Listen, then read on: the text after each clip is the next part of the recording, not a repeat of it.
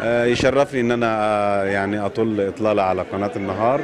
وباذن الله مزيد من التواصل مع من خلال قناه النهار مع الشعب الجزائري